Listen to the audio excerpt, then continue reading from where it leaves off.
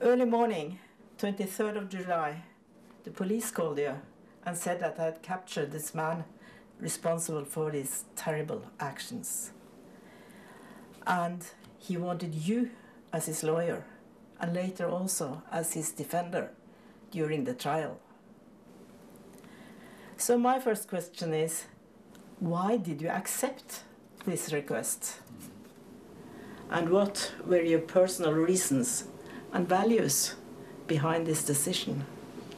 Well, it's a good question, and of course it was a difficult, uh, difficult decision. And uh, uh, first I was quite shocked over the telephone, but uh, after a couple of minutes, um, when I sat down and think it over, uh, it, it, was very clearly, clearly to me that uh, human rights and human dignity is absolute values. I think it must be absolute values. And of course, a terrorist is also a human being and he must be treated with human dignity and human values. I've been working as a lawyer for 25 years, and I think that the value of rule of law is, is extremely important for society and for everyone who lives in it. So that, that was uh, the reason that I, uh, a couple of minutes later, just uh, called back and said I will take the case. When you're thinking back now, two years since the trial, nearly, how did this trial affect you? What were your key learnings?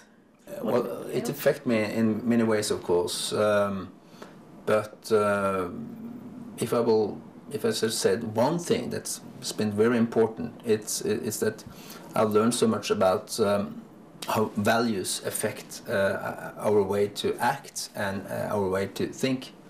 Uh, in the beginning, everyone in Norway was afraid, me also. Uh, it was difficult to understand. It was difficult to to see how we should react on this terror case. But um, due to uh, value communication from, from the government, from the church, from, from the press, from the media, and also from the young kids that have been affected so gruesome by this, this terror act, because of their value uh, communication that we should meet this act with, with human rights and human dignity, um, it created some kind of platform uh, and it created some kind of direction.